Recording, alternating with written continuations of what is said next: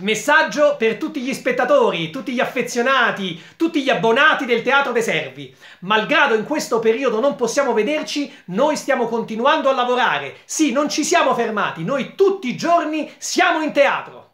Per forza, ci hanno chiuso dentro! Veniteci ad aprire! Oppure portateci un panino, un pezzetto di pizza! Aiutateci! Scherzo ovviamente, però appena passerà questo momento difficile torneremo a ridere e a divertirci insieme.